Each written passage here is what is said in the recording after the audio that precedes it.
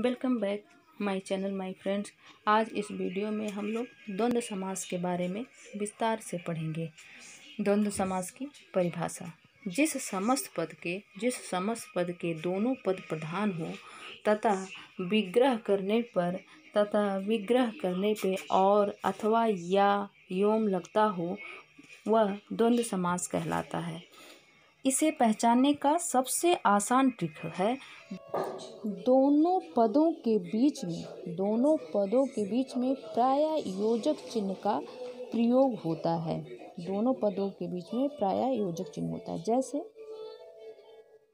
पाप पूर्ण, पाप और पूर्ण। देखिए, पाप और पूर्ण के बीच में योजक चिन्ह लगा हुआ है, इसलिए यह द्वंद्व समास है। हर द्वंद्व समास के उदाहरण में लगभग योजक चिन्ह लगा होता है। जैसे देखिए, नदी नाले, नदी और नाले, देश विदेश, देश और विदेश, खरा खोटा, खरा या खोटा, ठंडा गर्म, ठंडा या गर्म, इत्यादि।